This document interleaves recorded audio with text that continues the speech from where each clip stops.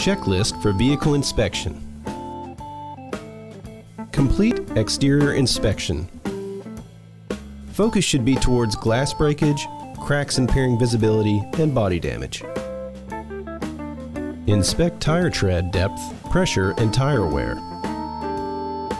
Safety lights. Inspect headlights, brake lights, hazard lights, and turn signals for proper operation. Examine the windshield and wiper blades. Examine the exhaust system for obvious damage and unusual smells. Check and make sure battery is secure with proper tie downs or straps. Steering and suspension. Examine the power steering for any visible leaks and suspension system while driving for any unusual noises, swaying, pulling to one side, etc. Fluid levels.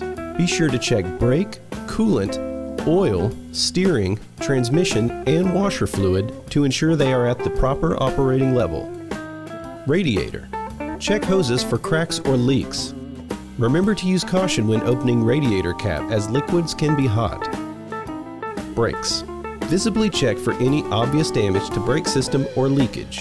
If there is evidence of brake fluid leakage, the vehicle should not be operated and the supervisor or service provider should be contacted. Belts.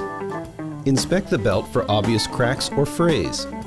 A full vehicle inspection should be completed weekly and all faults noted and corrective action taken if possible. Remember, your vehicle will perform more efficiently and be safer when operating within the standards set forth in your owner's manual. Be safe. Thanks for watching.